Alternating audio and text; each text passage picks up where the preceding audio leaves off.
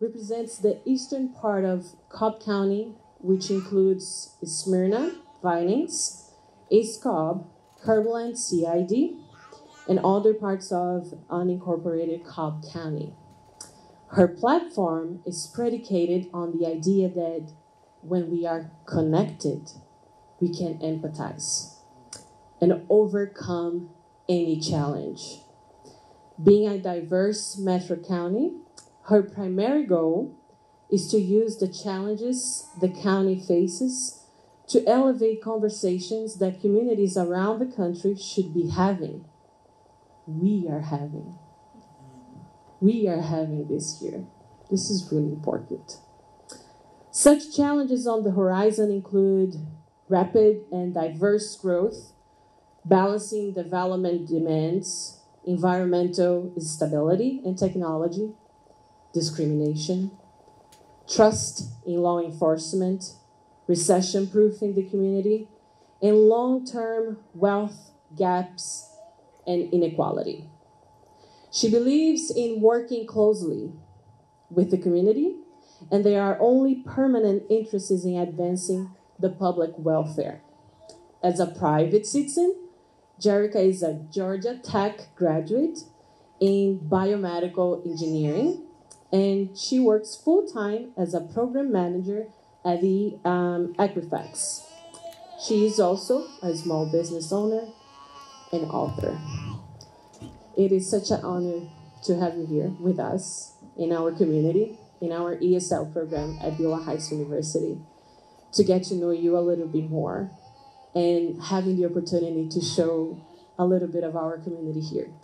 We have a bunch of Brazilians, but we also have the Hispanic community. We have students from Colombia, from Peru, from Ecuador, from Argentina, and students from Turkey and Mexico. Yes. Um, so welcome, welcome, and let's have fun.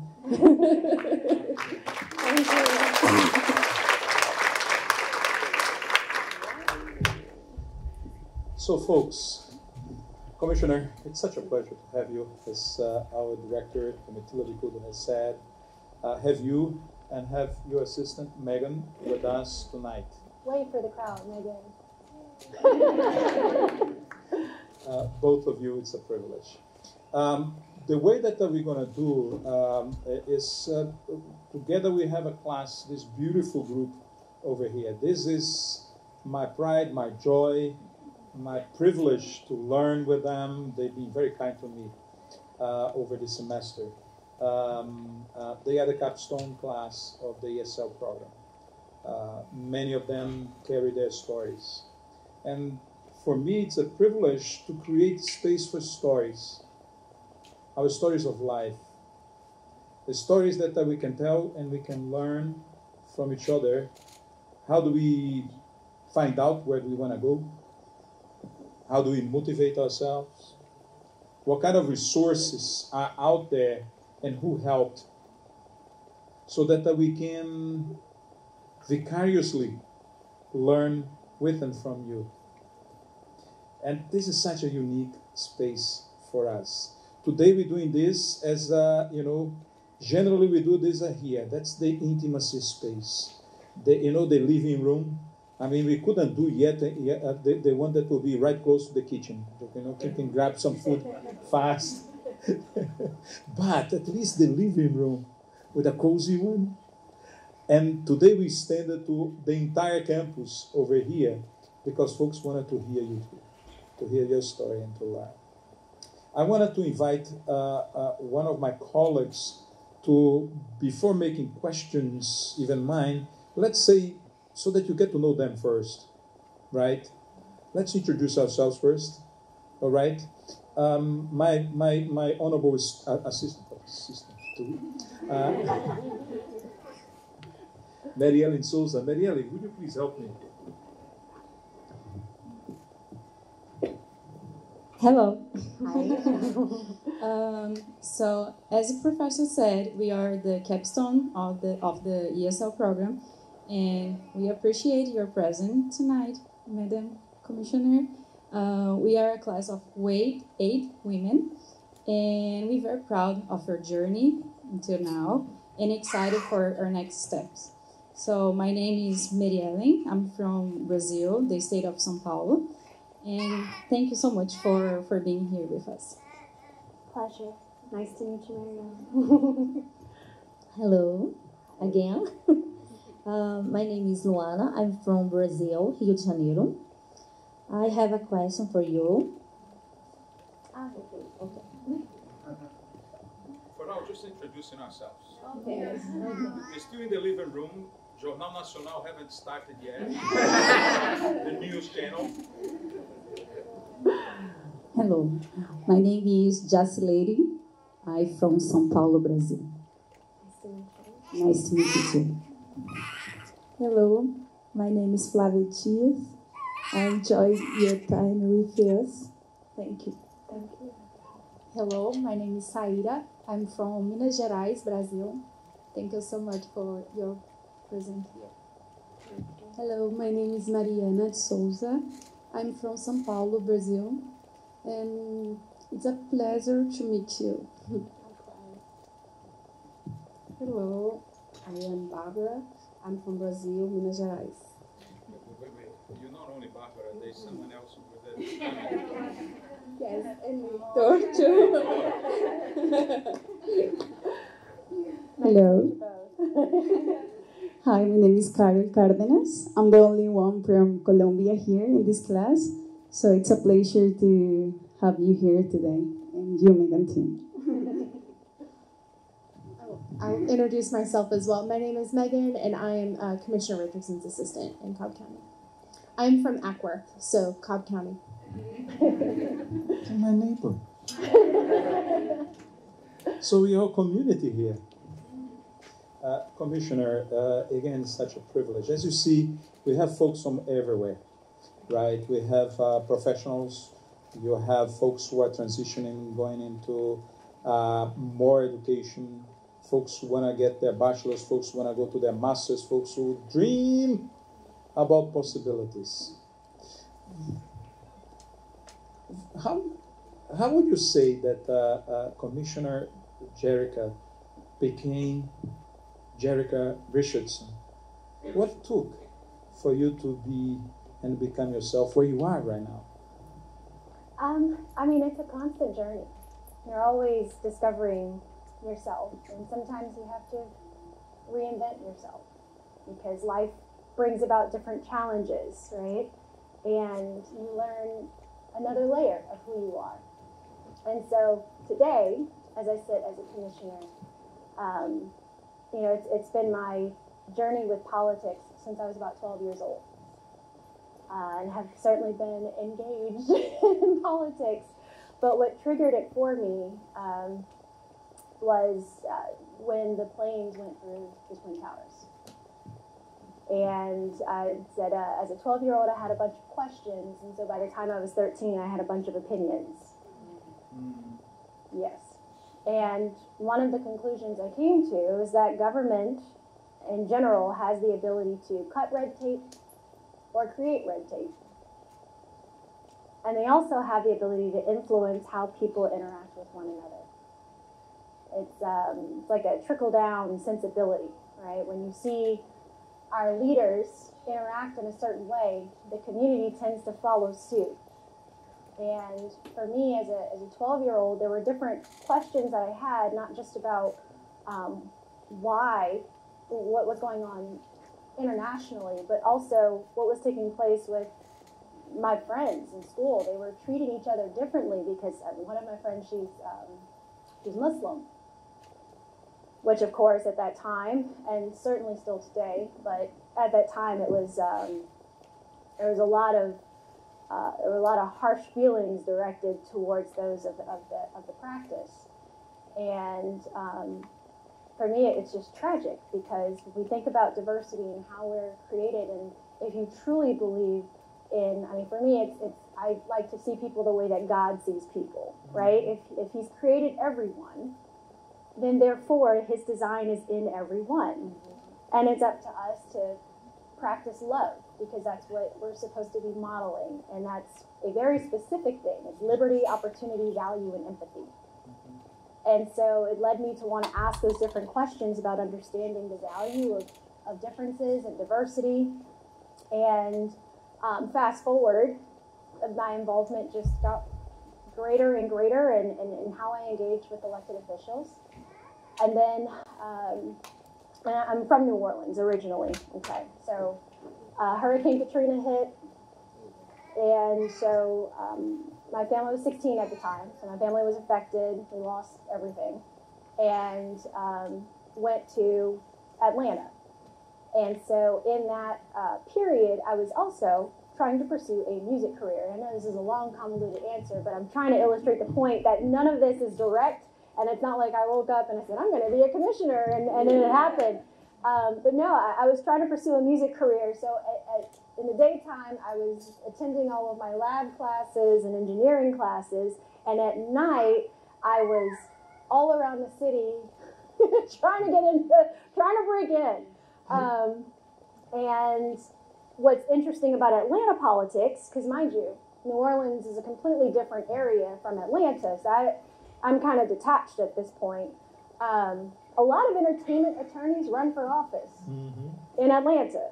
Mm-hmm. So chances are, if you're in that realm, if you're in the entertainment industry, you're going to run across a politician somewhere. Mm-hmm. And well, I did. so um, got very involved in Atlanta politics. Um, first race I, I, kind of worked on as a hobby was um, the Atlanta mayor's race for Kasim Reed and then that went on into other races as well. So this is kind of my like hobby as I was doing school. Mm-hmm. That's what I was doing in, in the after hours, and then um, after after graduating, after you know holding a, a couple of different roles in, in the corporate world, um, I picked up a side gig, actually being a campaign manager, and got a few people, a few different people elected who are currently serving now, and eventually ran for office myself to continue to bring that type of leadership to the table as best as I possibly could. As you are. As you are. Thank you.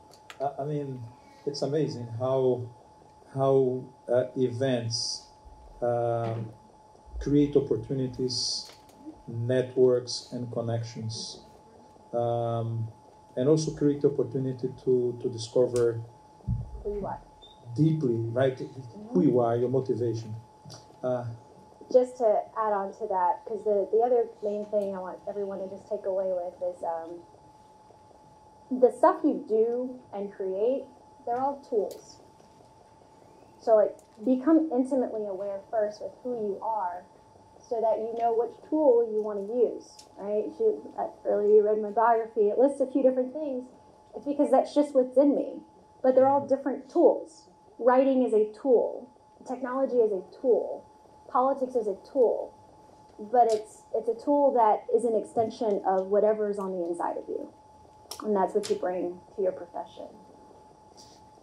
You use the word tool, and you also use the word discernment um, of, discerning, discerning uh, your your your. How how how do you how have you been connecting this this um, um, this ability to encounter the the power to make things actually happen. Because it is so there are so many voices that uh, that I will tell people that uh, they can't they they shouldn't. There are so many voices that uh, that uh, uh, break us apart. Um, how how do you how do you maintain yourself uh, motivated uh, uh, uh, and empowered to, to bring action uh, to be? Well, you remember that we all have the same creator, then no person is greater than the next. No person is better than the next. No person is less than the next. So you have everything in you. And certainly in my life and witnessing others throughout my life, most of the opportunities we cut ourselves off of from because we discourage ourselves. That's not for me, this is for, for the women. It's especially true when it comes to women. And one of the things that I, I did at Equifax is actually created the global mentorship program for Equifax for technology. And that's one of the key things that we focused on is how do you rewire your programming that discourages you? And it doesn't mean that it all goes away, but you have to be able to recognize it when you're feeling it. And certainly I feel it gender wise, I feel it racially. Um, I'll never forget. we were canvassing for Kasim Reed, and the organizers are like, well, we're going to put you in a million dollar neighborhoods because you seem like a less threatening black person, which is understandable in politics. Okay, it's a it's a it's a strategic decision. And so I had never been in a neighborhood with that many large houses. Okay, I come from very modest means in New Orleans, and I was by myself. They dropped me off, long road, all of these huge houses, probably some super fancy people, which I kind of think I'm getting there now, you know, but super fancy people. And I was like, oh my gosh, I feel intimidated. Mm-hmm.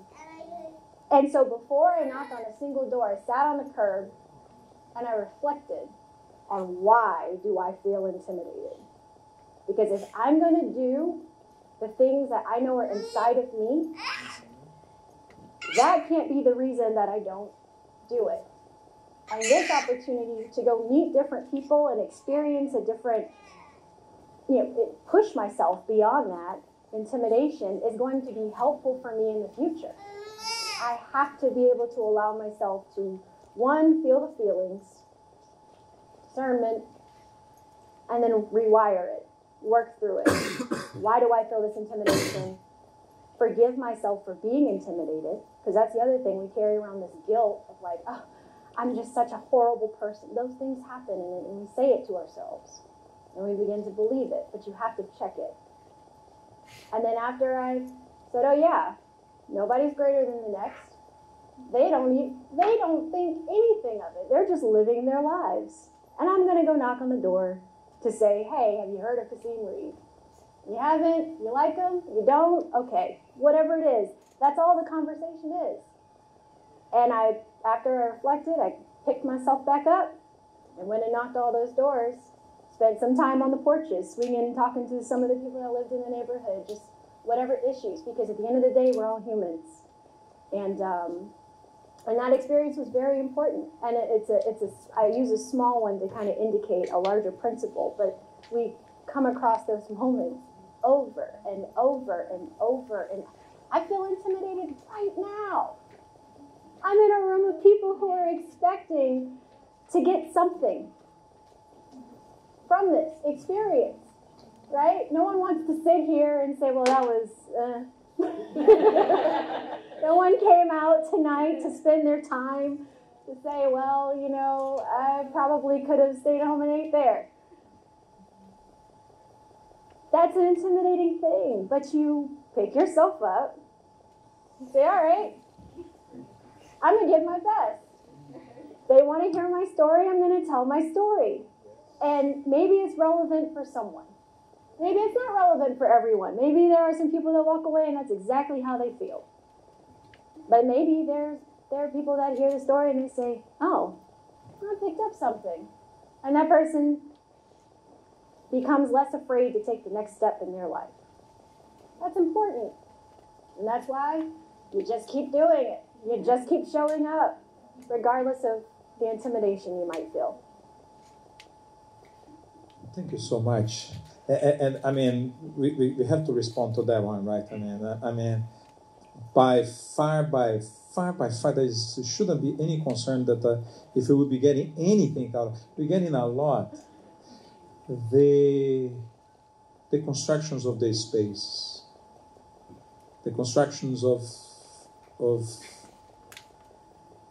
the retelling of stories that invite people to share and make stories, stories of our lives, like what you have been doing. It so. One last curiosity that I have is that because you not only because of professionally, I mean, as, as an elected official, but also as, as, as the way that we experience your own personality, right? You are able to make connections and, and, and invite people into spaces of, of exchange. How, how is this? What has that been for you? The networks, the resources to accomplish the, the, the motivation and the dream and the vision.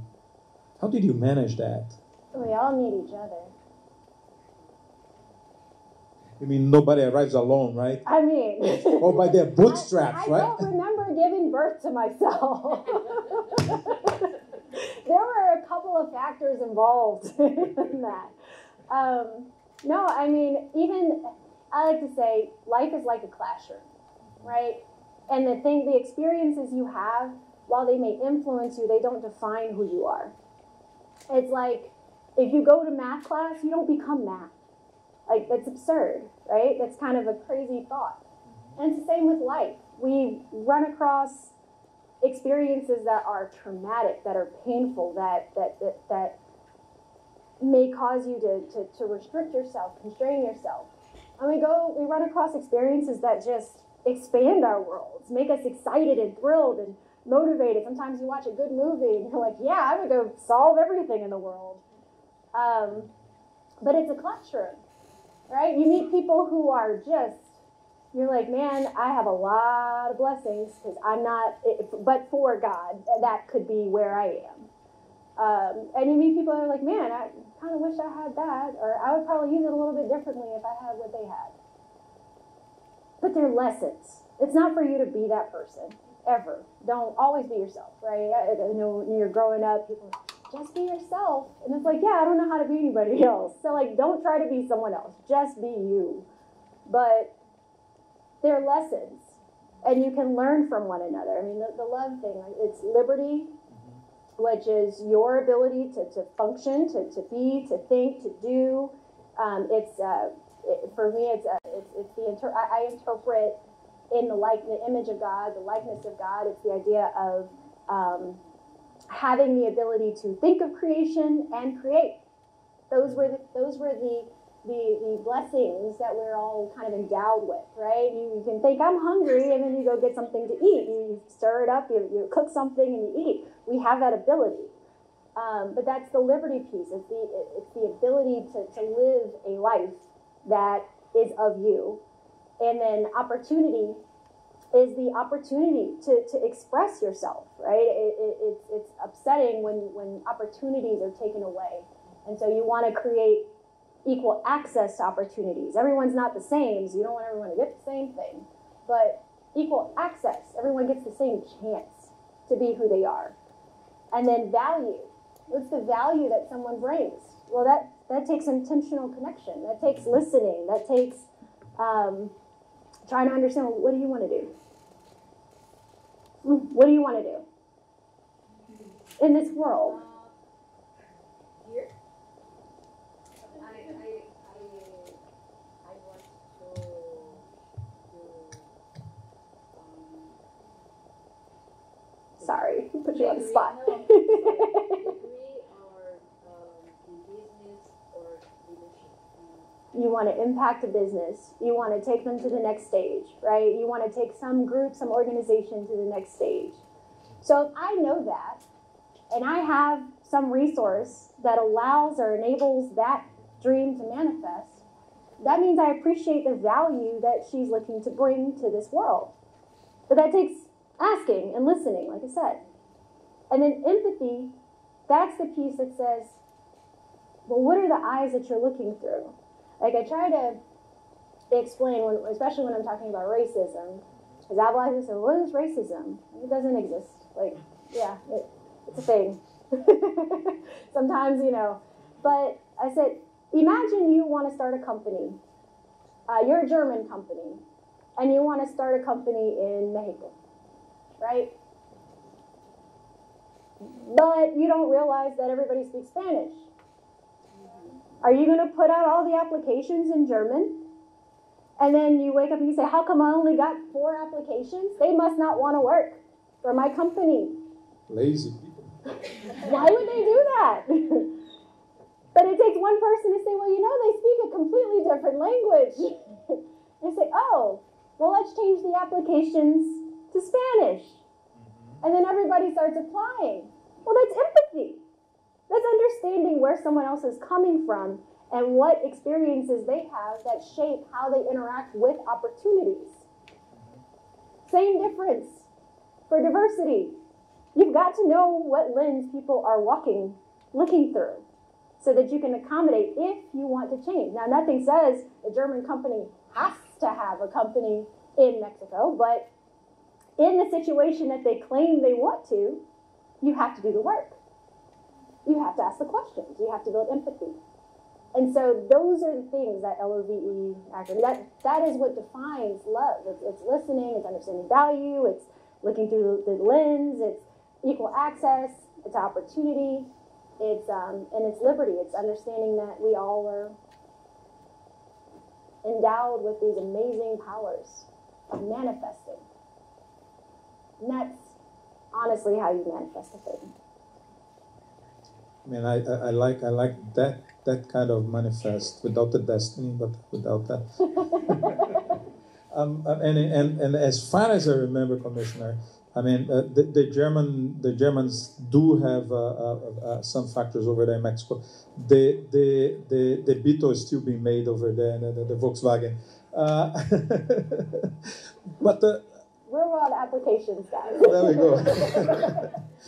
I mean, this is these are very important uh, uh, elements of, of how is it that we we encounter those spaces? How is it that we take responsibility and opportunity for all of those factors to create these communities? Our folks have questions, um, and our PR uh, uh, uh, person that has been working with us uh, uh, over here, I heard that you organized the whole set of questions for, for folks. I mean, I'm, I, I, I don't need to be doing that. That's all. Why don't I? Yes.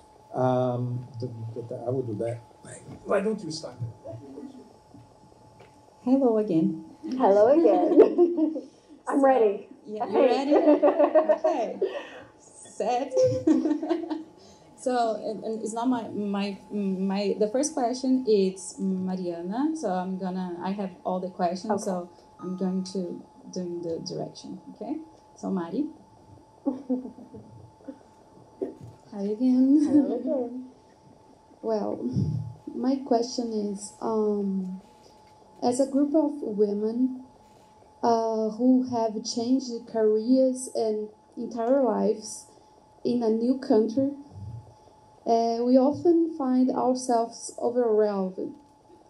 And um, with uh, a lot of responsibilities. Um, as a woman, who how do you balance your your responsibilities as a commissioner and your, with your your other roles? Great question. And megan's gonna laugh at me it was the first question that i was that, the first question that I, I thought when I yeah. read your, your yeah no no no so the first thing is, and this is where you're to laugh, know how to say no to certain things. That's the first thing, right? So if you know what your purpose is, if you know what your vision is, if you know where you're trying to go, then the things that don't advance that, you say no to. Right? Don't try, remember that earlier thing, don't be someone you're not, like all that if you know and you're growing and you're developing and you're open minded and centered, then when things encounter your world, your space, and they're just picking at you and you have no control over them or they're just, just, okay, I'm focused. You're focused on what it is you're trying to do. That's the first thing.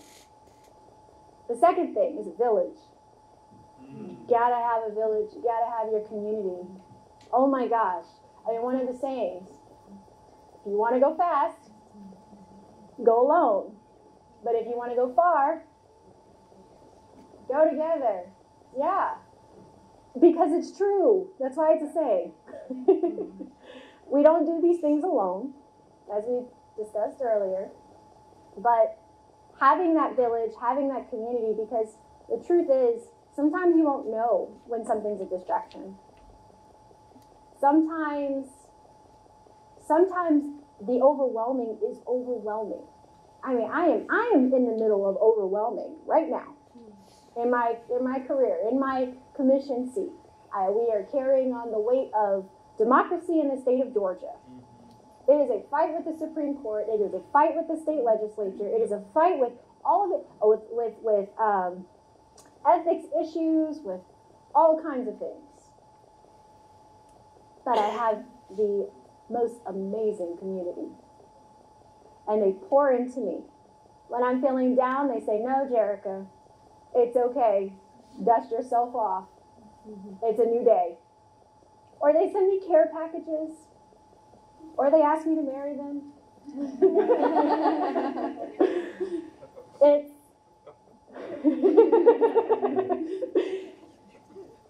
it's a village.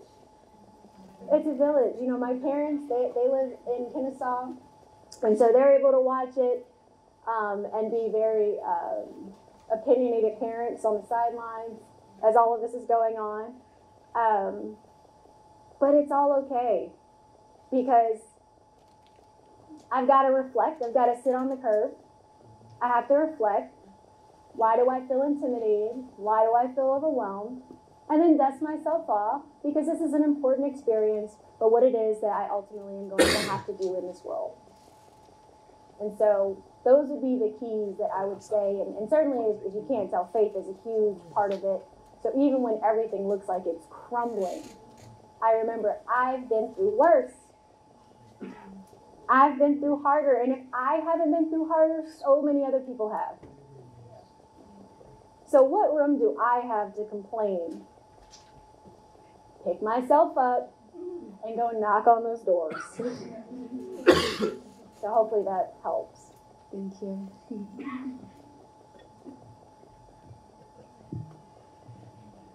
Thank you, Commissioner. Uh, I think it's important to us understand and see that an important person like you has the same feelings, of course, and it's good to to understand all because, of course, everybody here has uh, the their life, they're struggling, so it's good to see we have the same the same situation. Yes. Uh, the second uh, question is Luana. She's now she can ask. Look, she's been waiting to ask this question. Yeah, so please, I'm gonna the mic. Now I have a question. uh, thank you uh, sharing your story, your experience with us. Tonight, I'm very happy to talk to you about things and career and future. Um, in this date, six years ago, in this time, I arrived in the United States. I I don't I didn't speak in English, nothing. Well, very impressive. Yes. Today. uh, tonight, I can talk to you in your language. I'm very happy. and, um, my question.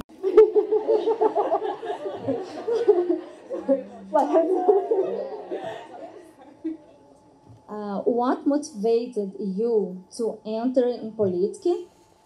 Was there a specific event that inspired you to dedicate yourself to public service? Yeah, um, I mean, it's it's not a specific event, but the specific event that triggered my interest in politics and in playing in the political world was um, was, was when the Twin Towers fell. But it's a culmination of so many different moments throughout my life that ultimately put me where I decided to run for the commission seat. And um, kind of like a nerd.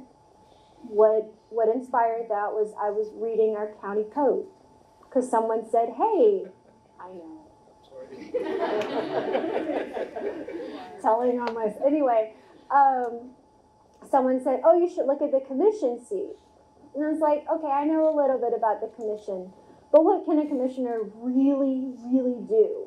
And I knew the things I wanted to do in the community, and so I was like, "Okay, Municode." Hold it up. It's digital. For anyone that wants to know about the Cobb County Code, it's digital and it's legal language. So let me know if you ever need help parsing through that. Um, but when you read the powers of what commissioners can do police, fire, power, water, air, soil, economic development, community building, 911, emergency management, disaster recovery, the parks, the roads, traffic, so many more things. That's just a sample of what commissioners influence. Quiz question How many commissioners are in Cobb County?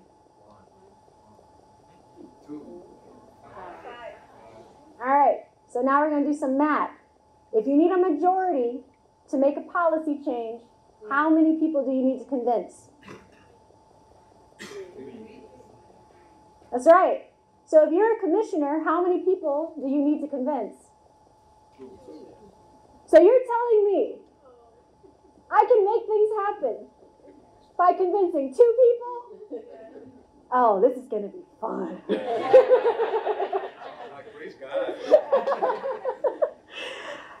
and I threw my hat in the ring. And I knew that I could bring the com- community with me to get things done and just expose it all because when you learn how powerful commissioners are, you in turn become powerful too. Because now you can go and say, I just need to convince how many people? You. Three people. How many of you, how many of you have convinced at least three people on what, what, what to eat at night? Oh man, you're on your way. so that is how government should feel. It should feel right there. Right? It shouldn't feel far away. And so, yeah. Now I'm the person. And so is my community. So hopefully that answers that question. Mm-hmm. And a little bit more, so sorry.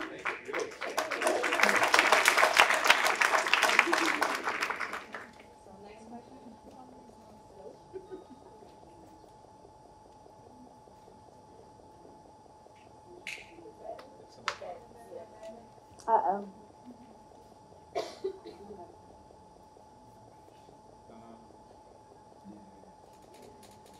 Do you want to pass this around? Hello. Oh, okay. Oh. No. so the third question is mine. Um, from my research, uh, and correct me if I'm wrong, please, uh, but showed me that you were founder of a program called Friendly Advice.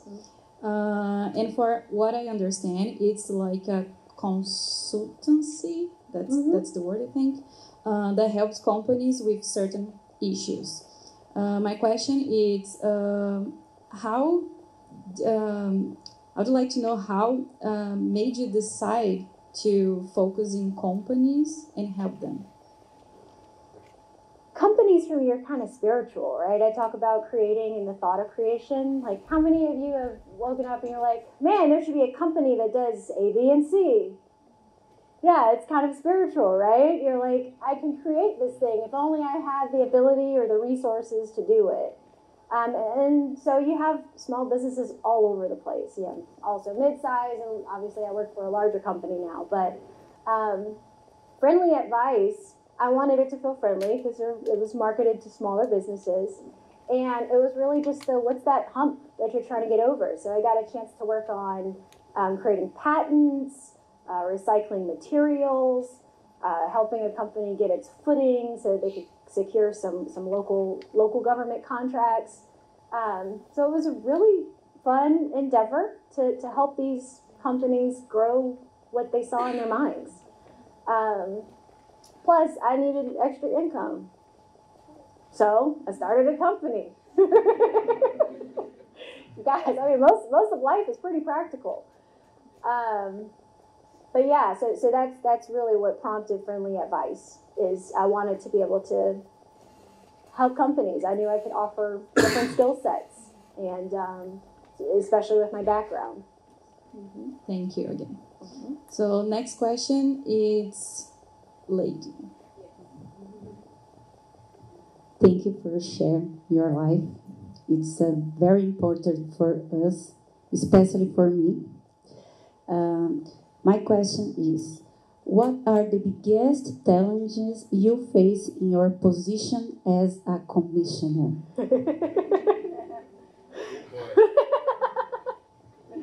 How long do I get to answer this question?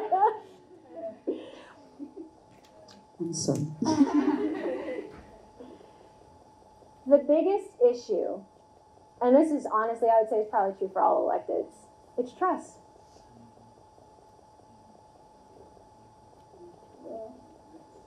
Like, let that sit. exactly. It's the trust, trust with the community.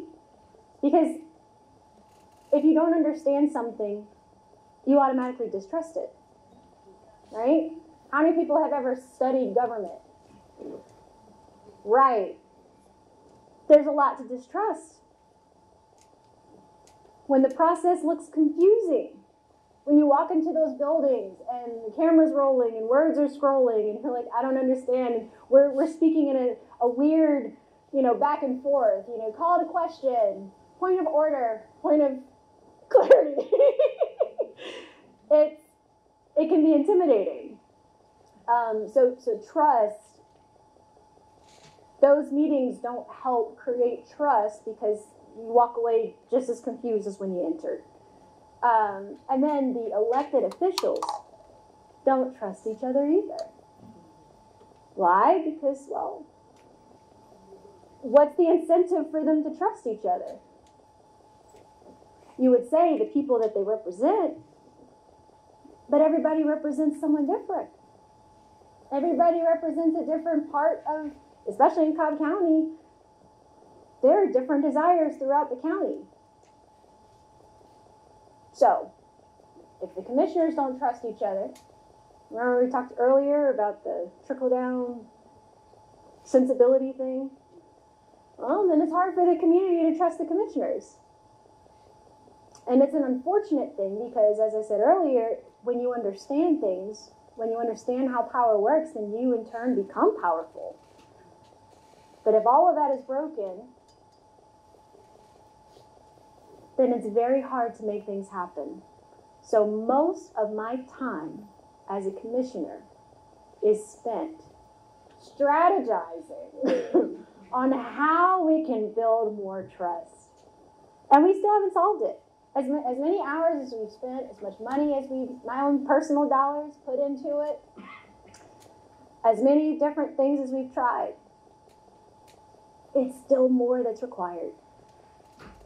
So that that is the current the, the, the, biggest challenge. And you know, we look, of course, at national politics. For anybody that doesn't know, I'm, I'm, I'm running for Congress right now, for U.S. Congress. They're wild, just wild. Uh, but again, it's because there's no incentive for any of them to trust each other. So, trust.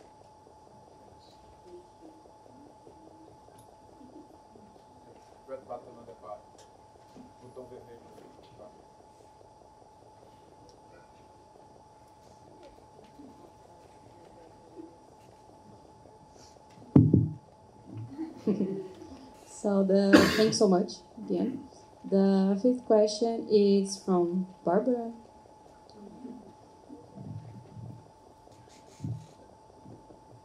Hello, thanks for sharing your life. Uh, my question is, when you start the your position as a commissioner, what your goal you did set for your term? A lot. I mean, you heard the list. I remember when I, when when I first got elected, because I do community huddles, right? Every two weeks on Thursday night and on Saturday morning, we do a community huddle where people just hop in and we talk about it. It's the community that runs the, they, they, they set the agenda, and I just answer questions the whole time. One member was like, Why do you have 45 goals on your website? Now, I will tell you, today it is 368. Am I lying? I think it's Um, thanks. I missed one. Why do you have 40 something things on here? What are your top three? I said, I have way too much power to just do three things. And I represent way too many people with way too many issues to do three things. He's like, but you have a point. If it were just me by myself, I could probably only do three things. But me with the community, let's just do them. And that was the philosophy that we brought. That's what we brought. Um, I also wanted to make sure, to the trust point, that we could build avenues to power for members of the community, that we could reach more people, that we could, you know, one, I was, was one of the campaign promises I made was that everyone would have a seat at the table. How many people do I represent? Do you know? Do you know? 200,000 people. Does anyone have a table that's big enough to hold 200,000 people? Anybody? Let me know because I might want to use it. I don't. And so to do that, I wanted to establish voices that represented groups of the community, different perspectives, different vantage points. And I called that my cabinet. Are 27 members on the cabinet,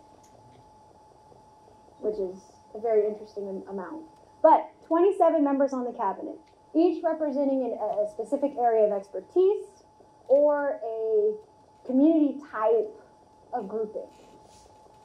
And we meet monthly, and they help me accelerate policy.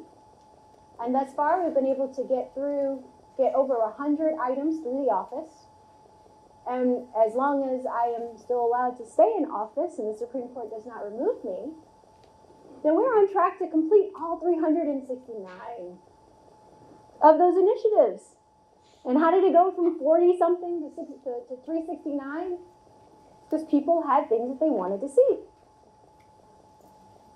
It's like you give me a call and you say, hey, I really, we really should have a program that connects this program to the Board of Commissioners so that whenever there's an opportunity for education or Cobb 101, all the capstones get a chance to go to Cobb 101.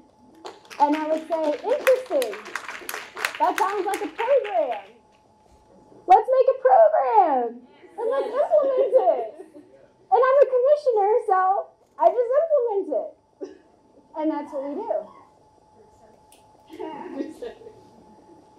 Thanks, Meg. so hopefully that answers your question.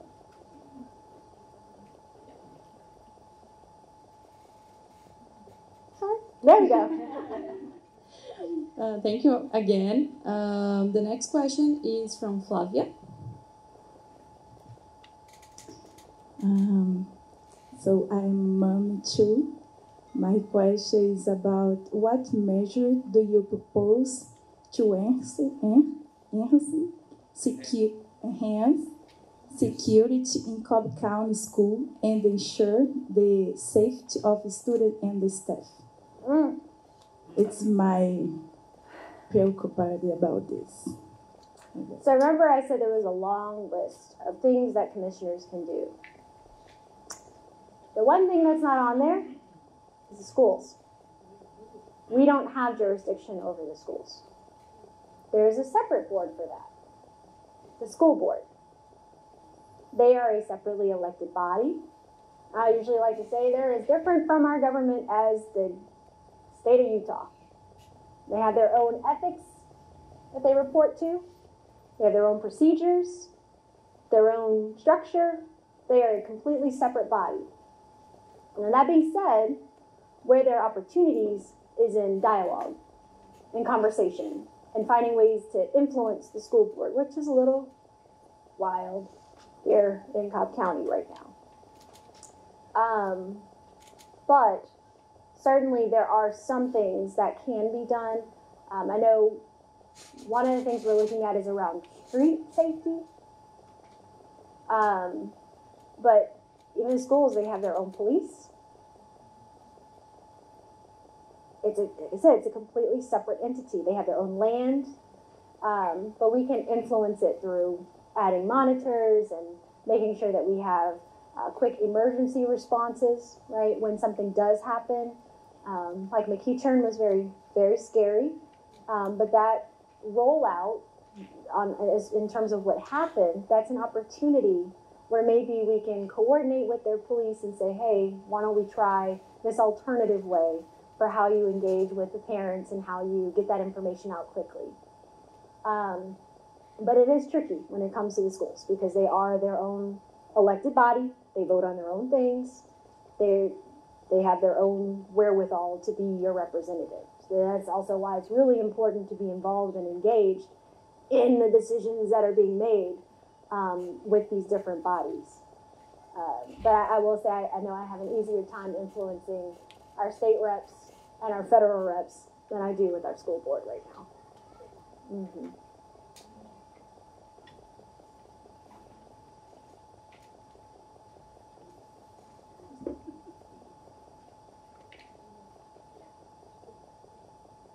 Hi.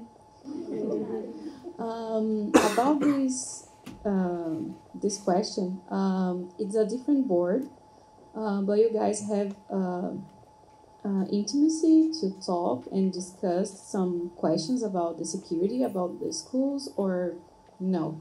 Well, as I was saying, that's the closest we have. It's influence, but truthfully, like our ability to influence is the same as yours, because they're their own body that's why the community needs to be involved and engage. Involved. So I can make that call and say, hey, why don't we look at this?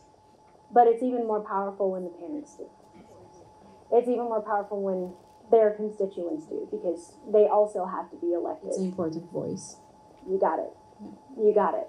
So it's, it's, it, it doesn't mean that there aren't things in the peripheral that we can try to do around, nearby, those types of efforts directly, but everything else is through influence.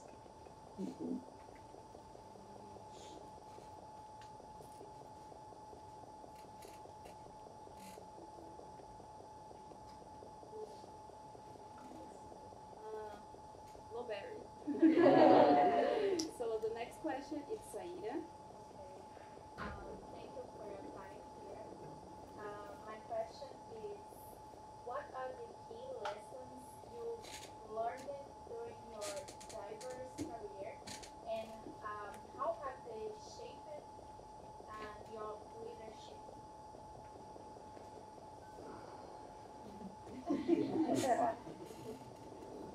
Yes. um, yeah, I mean, there, there are a few things. Um, so I mentioned life as a classroom. That's one of those lessons. Um, it's also that nothing's really permanent. It may feel like it, but nothing's really, truly permanent. At any moment, your entire life can change. At any moment, everything can be taken away or accelerated. And so what what that leaves you with is how do you maximize the moment you have right now, the present. Now you plan for the future, you, you make sure that you're thinking about it, and you reflect on the past. But the most important thing you have right now is the time you have right now. And People rarely remember what you say, but they always remember how you make them feel. So, those would be some of the main things. And then just be yourself. But you got to know what that means. You got to know what that means. the, the last question is Okay. Um, I know all the experiences that we have uh, lived during our life,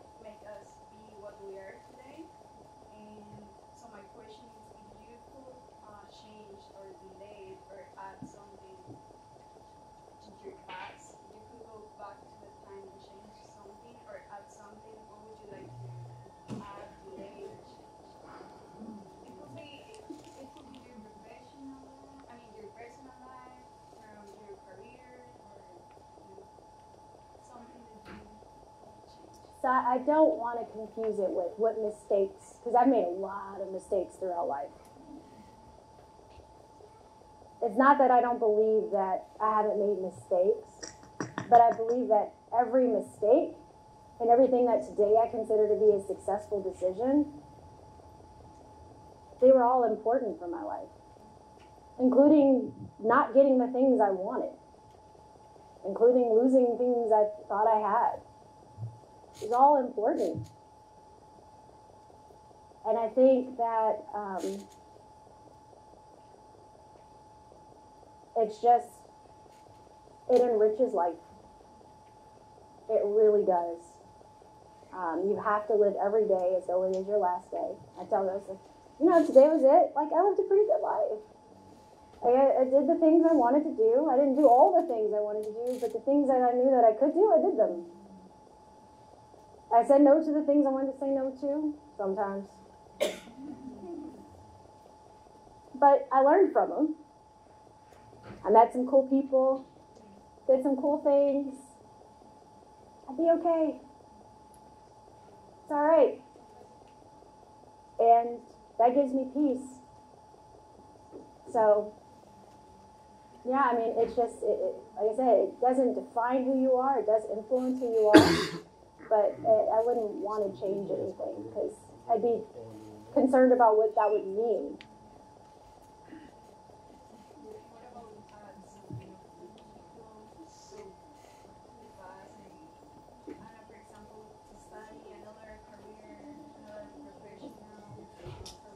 I might have added some additional knowledge around finances. That might have been helpful. but again, it's a part of the journey. And because I went through a whole spell with that, I can empathize with other people that have also gone through that. So, like, I wouldn't want to take that away either, even though it might be frustrating right now, but I wouldn't want to take that away or add that because I might not see people the same way or something. I don't know. I don't know. So, I don't really want to change it. Thank you. Okay, thank you so much, Commissioner.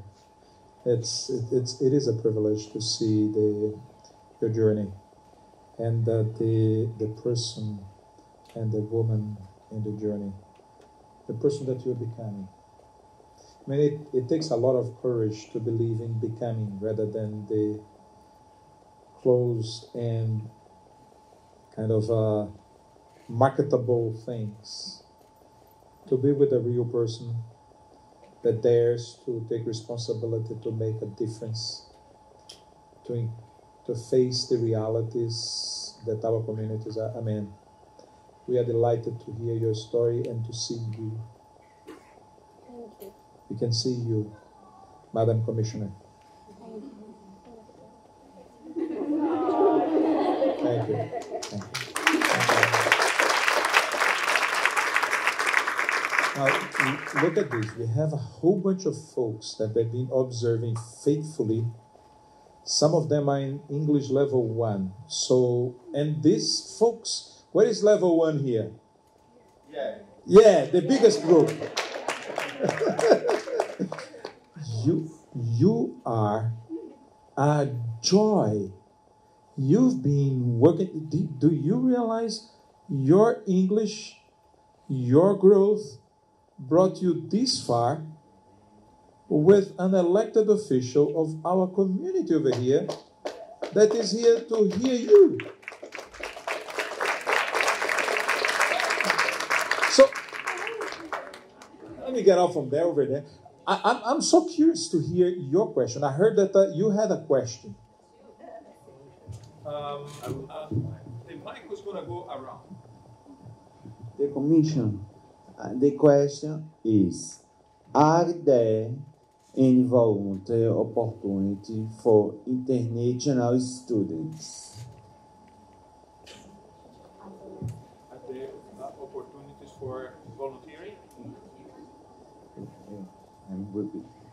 Are there any voluntary opportunities for international students?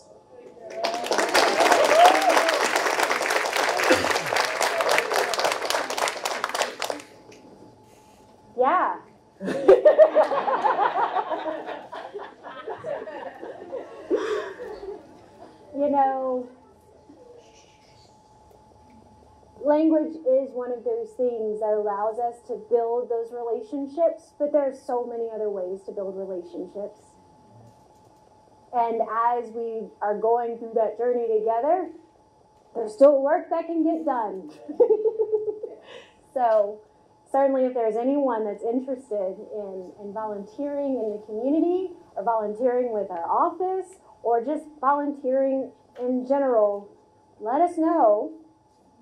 Don't don't cut yourself off from the opportunity because you say, "Oh, well, that must not be for me." Mm-hmm. Oh, well, I'm not ready for that or I don't know enough yet or I don't speak or you know, uh, they're going to look at me differently, or they're going to treat me like I don't know what I'm doing. Preach, preacher, preach. Hey, hey! don't let that song play. It is a tired song. It is overplayed. New song. Remix. Praise God. How about we say, I'm going to push myself? How about we say, yeah, it may be hard, but I'm tough. Yes? Yes. You got this far.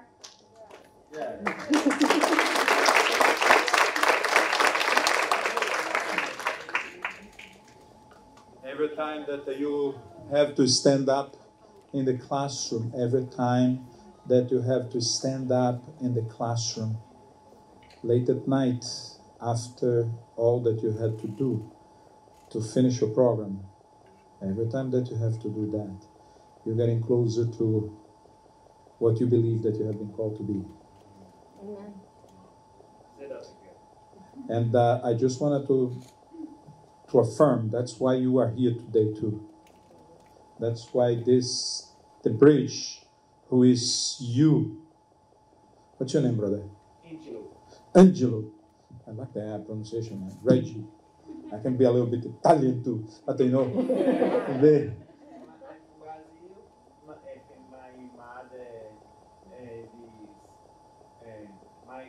My mother is, my grand, grandmother is, grandfather is Italian. Va bene. If it makes sense. So Angelo, that's this is it.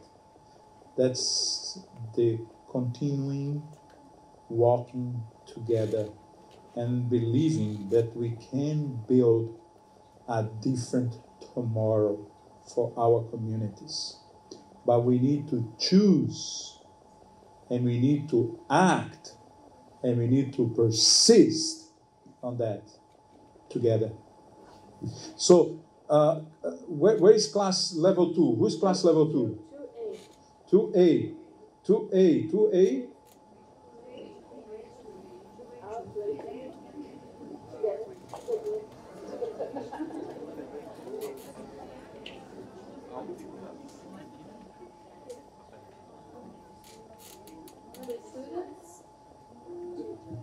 Um, only the students, or can I represent them? Let's get the students. Okay. If they, if they will be willing.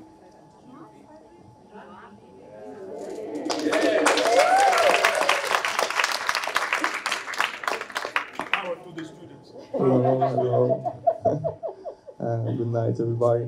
It's a huge pleasure to have you here. Listening your words is very helpful, and um, I think I speak for everybody. That's a huge opportunity to know so far and so much you have done this time. So my question is like when you speak about politicians, um, I think most of us Brazilians we have a difficult situation about this subject. So how you guys or how you may you have seen how politicians work in our community and how you guys um, um, how can I say uh, protect and avoid bad situations, um, avoid uh, situations about corruptions and that make protect and work properly for the community. How this how this work for you guys? Great question. I'm going to have a disappointing answer. Uh, there's nothing special about politicians. Every organization, group of people you encounter, when you have people, you have different motivations. And that surfaces. Sometimes it looks like corruption, sometimes it's perceived as corruption and it's not. Um, but it's just you have a group of people, whether it's a company, a school, I'm sorry. it surfaces. So the best way to, to, to protect the community is through education.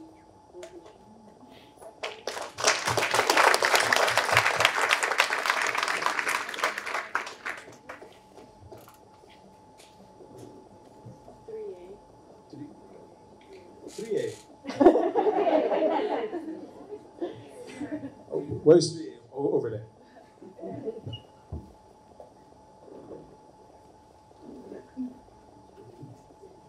Hello. so, does the county have uh, special programs for immigrants or international students, and how we, how can we get involved with, with the county? So maybe, or I mean, if I have a financial aid or scholarship for the people wants to get a degree next to the ESL. Great question. So there are a couple of answers I'm going to give you. Not as disappointing as we're all corrupt, but um, so one of the things there's the cultural aspect of the immigrant story, right? And so Cobb County has something called the International Festival, which brings in different cultural exhibits, and it's kind of a really fun thing. And that was something the chairwoman, our current chairwoman, um, brought created in Cobb County several years ago. And so that happens on an annual basis. It did get stalled with COVID, but it came back. That's more on the cultural side, right? As far as government operations, things like scholarships and stuff. So, gonna see how I can shorten the story. Um, there's really not a lot of specific programs when it comes to um, diverse groups. Now, there, there's, for the first time in the county, a DEI program that kind of evaluated where we are as a county, because mind you, it's been a similar kind of board for a long time, up until 2020. Okay? Um, so, so some new initiatives have surfaced, um, but there really aren't specific programs, and there are a lot of rules around how tax dollars can be spent. To the question about corruption, lots and lots of laws that protect us and protect the community because these are public dollars, right? And that's a whole other conversation, which happy to, because I'm a nerd, so happy to get into that too. But one of the things that we did in our office was, um, so I'm familiar, you know, Little Brazil. And I know it's been around, but it hasn't been acknowledged. And it, it, it blew my mind. It was like, yeah, there's so many Brazilians that it's known as Little Brazil in Brazil. And I was like, and people in Marietta don't even know? Okay, interesting. and so, with that effort, one of the things we wanted to look at was not just you know acknowledging that it is it exists and certainly looking at the businesses. But for me this is also about economic development connecting opportunities making sure that the grants that are available at the federal government because they have a little bit they have a different set of rules when it comes to how dollars can be spent um, that there is a relationship that can help those funds make it to different communities uh, so with the Little Brazil initiative, because the other thing to note, who's familiar with like gentrification, where new investments come in and then it becomes too expensive, and everyone who was originally there leaves. Well, it's kind of very hard to protect against because the people that live there also want those improvements, right? And so one of the creative strategies that we've come up with is to say, hey, if we can invest in the local businesses in those areas and the people within those areas, then the money can circulate in the community, which means as it improves, the people's income also improves, which means they can stay in the community. So it's one of the things that we're kind of testing out with the Little Brazil concept. And so in order to anchor that, we're working on a community center to assist with um, bridging some of those gaps and a nonprofit, so uh, connected with some of the community leaders so that there could be a formalized nonprofit structure that businesses can be a part of and can have representation so that when we go to the Chamber of Commerce, we say, here's the Little Brazil organization. The grants that you receive at the chamber now become it becomes a, an opportunity. So even if even if I don't exist anymore, that relationship can still be there and the funds can still continue to circulate. So we are working on establishing some of those things for the future to answer that question about what is there for certainly with the Brazilian community, but there are other communities as well where these kinds of structures can be put in place.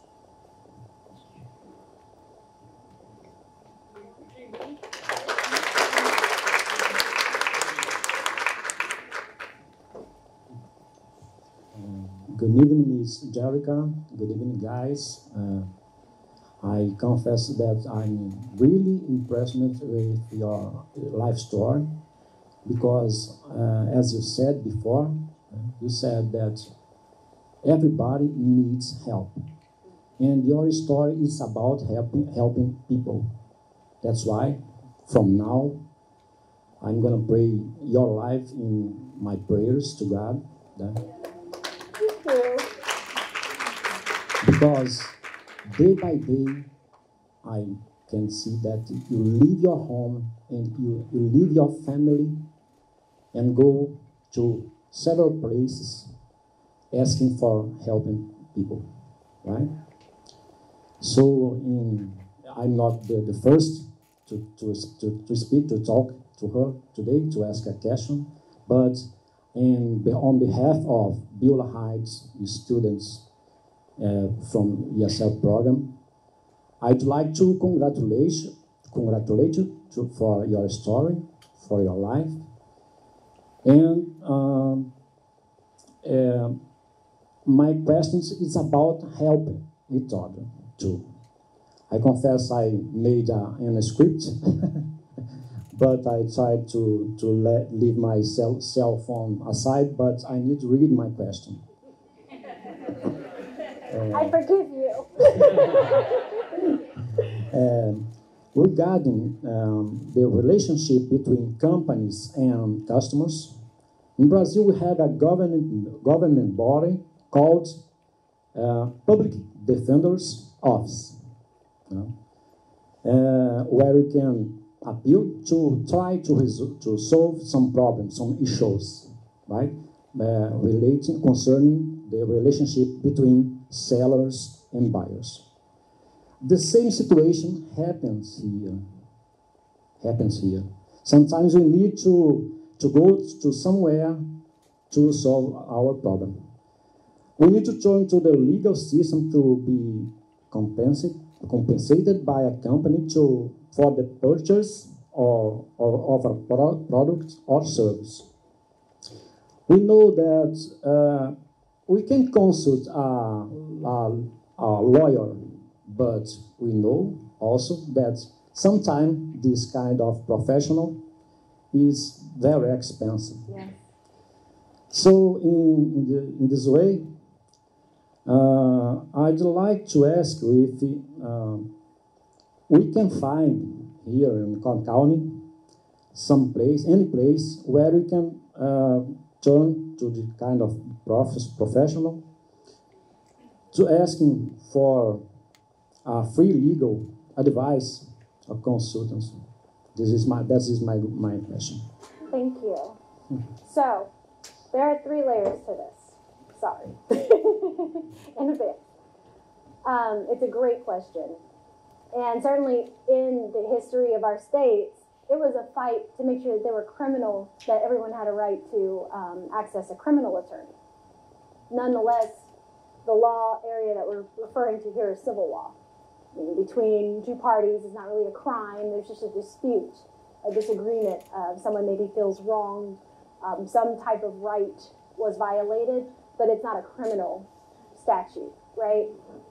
And um, one of the things that I absolutely believe in is uh, at some point as a nation, we need to get to the point where there is free access for civil representation, that everyone is guaranteed a right to, to, to access representation in civil matters.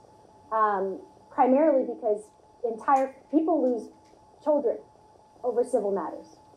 People lose homes, entire assets over civil matters.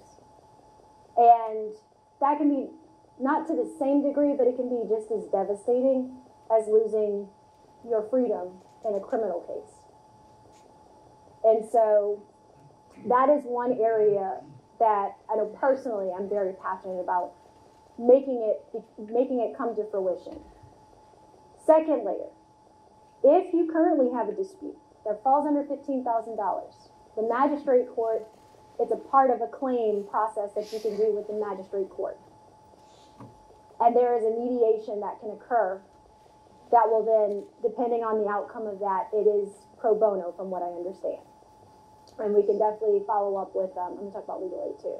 We can follow up with our magistrate judge on that because what we're working on right now is to raise that threshold higher so that it can cover all types of laws that fall under civil matters from federal law to state law to local law as well. So that's the second layer. The third layer is legal aid. There is a nonprofit organization that currently exists um, that does receive funding uh, through all kinds of different vehicles, but they're there to serve as consultants, legal consultants on your behalf. They cannot represent you, but they can consult you, tell you what your options are, where you should go, how to navigate the system. And it's called legal aid. Also works very closely with the magistrate court. So whenever you think about evictions and that type of stuff, that all falls in that category of what is heard at the magistrate court. So that's your third layer. There are some options. It's not the full, it's not the full amount, not the, not the dream yet, but there are some options currently today. Thank you so much. Thank you.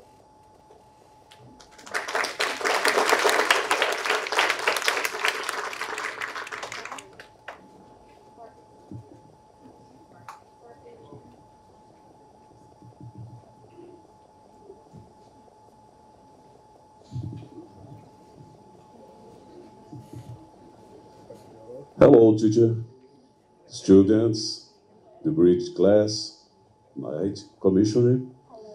The problem and the, the question is finished at another guy had asked my question. no problem, it's okay.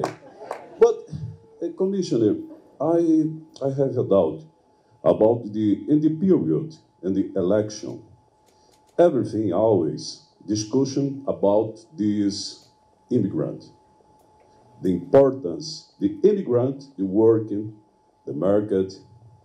In your opinion, what is importance the immigrant for the United States?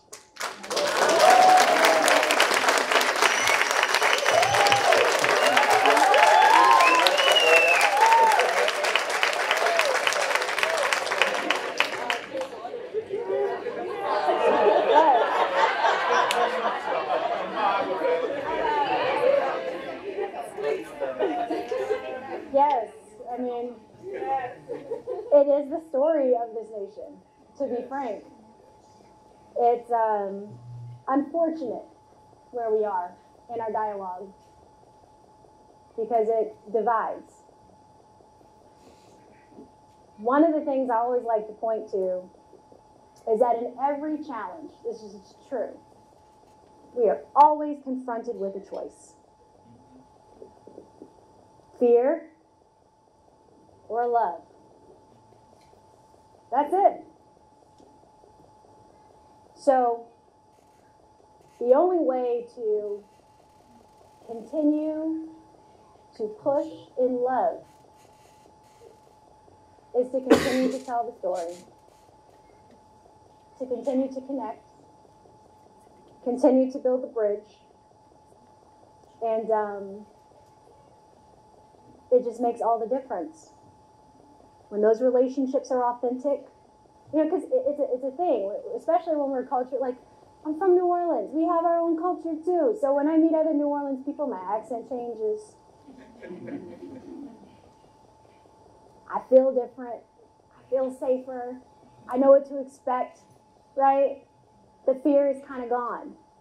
And so the problem with that, though, is you get comfortable and you isolate from how others can engage and interact and learn. And while it may be safe in the short term, it puts the community at risk in the long term. And that is a huge responsibility for any community to bear. But it is. It just is. Why? Because it's a whole bunch of people with a whole bunch of different ideas and different experiences and different backgrounds. And so, if there's ever going to be a change, it's going to be because there was a choice to practice love, to connect, build a bridge. That's all I have.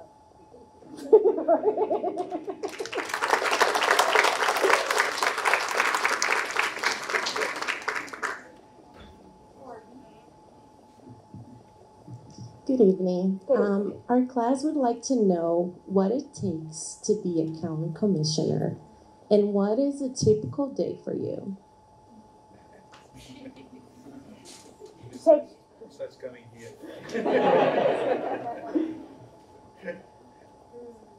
Honestly, running for any office doesn't take much at all. It just doesn't. To, to be, yeah, like it's not like there are some requirements. Don't get me wrong. And for the commission, I don't even know if there's technically an age requirement. I don't think there is. I just don't think anyone younger has tried it. But it's there really aren't any real qualifications, and you should be able to see that in our representation.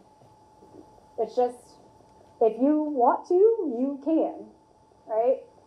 Um, that being said, it's as far as a day in the life is concerned, it's it can be very minimal. It is what you make it. That's like any other job, right? Technically, by law, the job I have as a commissioner is a part-time job. By law, yes, yes, yes. It's a part-time job.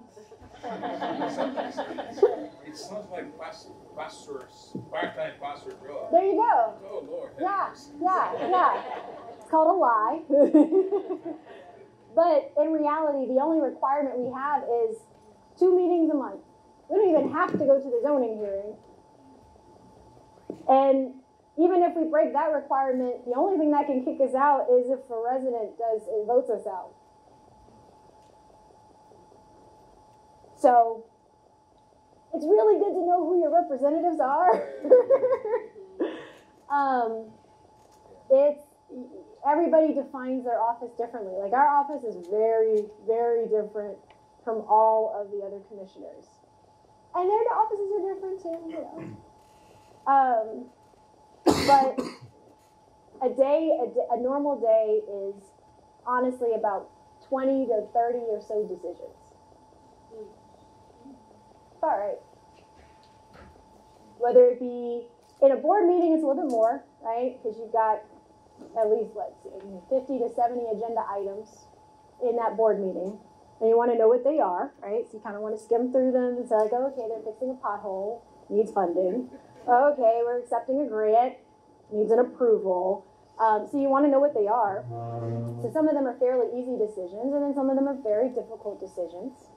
Um, but you make some decisions, and then sometimes you get a call. Says, "Hey, this thing came up, we don't know how to respond to it." Figure that out too. And so it's just a series of decisions. Um, but on the second and fourth Tuesdays, we show up. Bless you. We show up at the uh, county seat right there off Cherokee, and, um, and, and, and we vote on the regular business. And on the third Tuesday, we vote on things that developers want to do in the community, and we weigh out whether or not they're violating the law, and we grant them approval based upon whether or not they follow the laws. Um, but the, the job itself is minimal. My day, a little bit crazy. a little bit crazy. We love to do our events, our huddles, our um, community chats, our um, we do a lot with staff. We do a lot with, I mean, we have the cabinet, we have our interns. We've had about 60 interns go through our office in the last three years. And they all are doing amazing things now. It's great. I call it, it's our track record. It's one of the things we're proud of. Um, it's also thinking about problems. I think about problems a lot. People ask us, I this this job satisfies my ADD. it really does. You know, when I'm sitting at Equifax, we're talking about deploying, you know, tools and software into the cloud and making sure the controls are in place and they can't get hacked because they store PII and we don't want another country, a foreign adversary to do something crazy with your data. And then I get a message that says like, hey, um, Lower Roswell, we don't want we don't want it to be fixed because of A, B, and C. It's like, okay. And then I'll get a text that's like, hey, um, this developer wants to renovate this hotel by Dobbins Air Force Base. Can they? And then I might get a question that's like, hey, what was the policy you came up with for the Renters Bill of Rights at the state legislature so we can help push that through? So, like, it's just fun.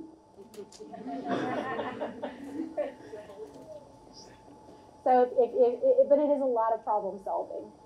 And if you care about the community, because that was really going to be the answer I was going to give you, it's heart. But like, not everybody has heart. It's not even true. But I, when people do ask me, should I run for office? I say, if you know why, and if you have a village. Otherwise, don't do it. Thank you.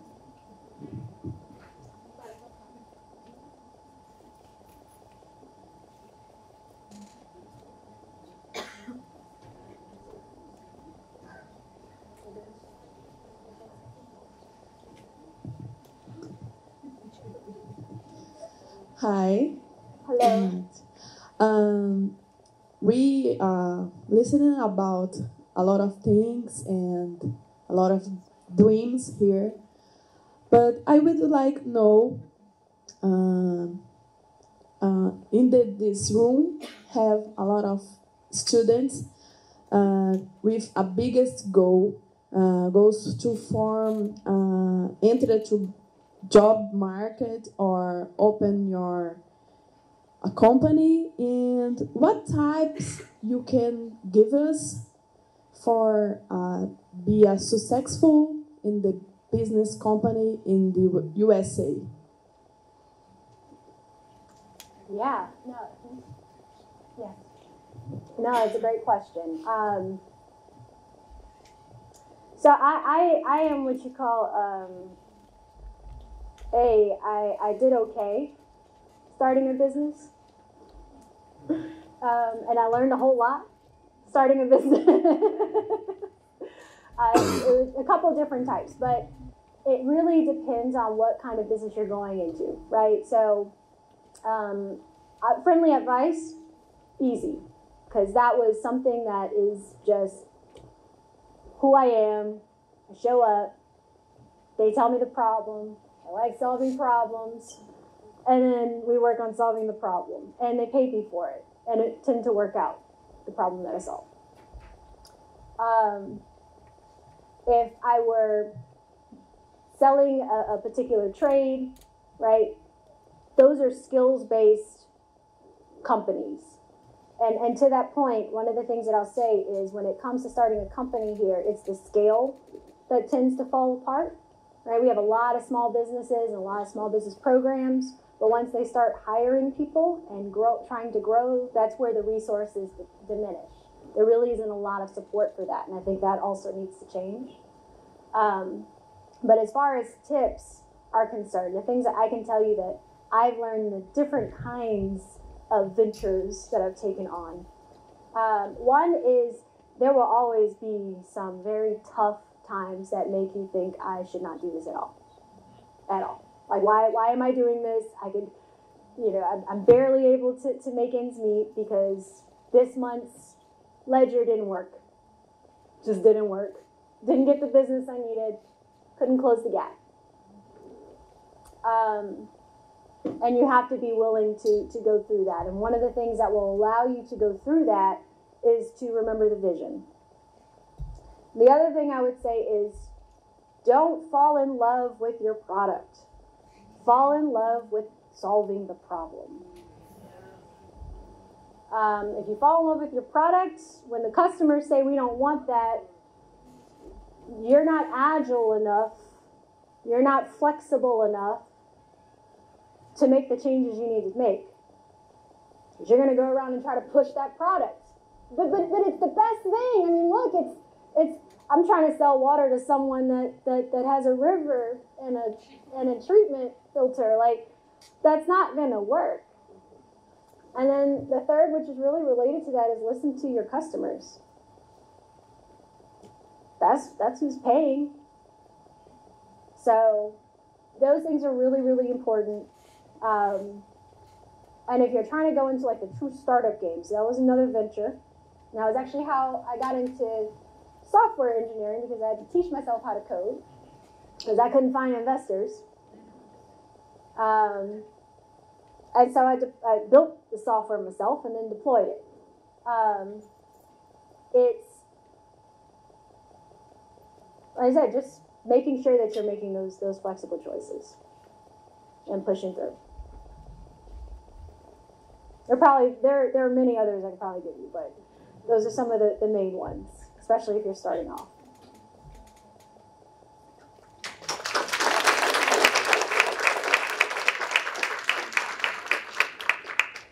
So,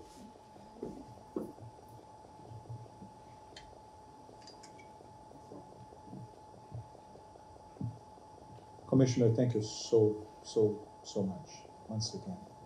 Uh, I also heard that uh, uh, for those of you who were um, uh, wondering about representation or voice or the continuing, I heard that uh, this class is coming to visit the, the Board of Commissioners themselves, right?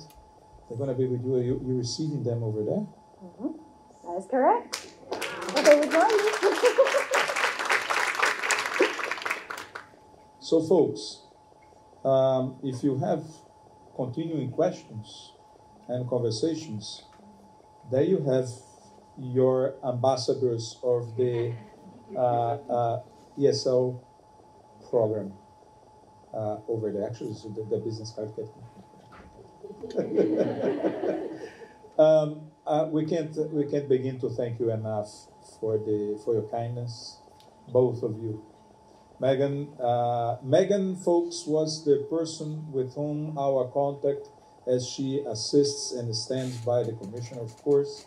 But uh, she was that kind. I mean, we were all excited and then, bro.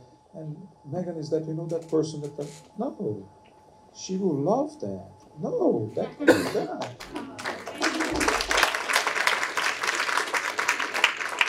So that there you have a, a, a neighbor that uh, bridges uh, problem solving with kindness, which is something unique. Megan, thank you so much.